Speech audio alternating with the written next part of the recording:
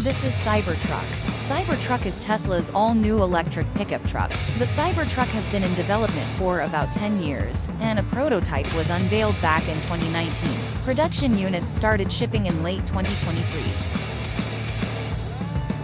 Tesla claims the Cybertruck has a range of 340 miles on a single charge and can do 0 to 60 miles per hour in 2.6 seconds.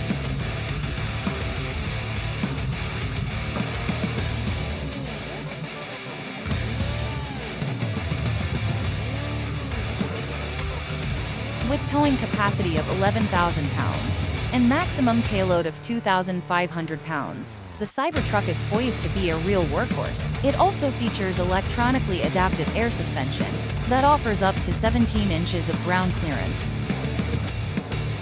Tesla claims Cybertruck's windshield is made from shatter-resistant glass which is able to withstand impact of a baseball moving at 70 miles per hour.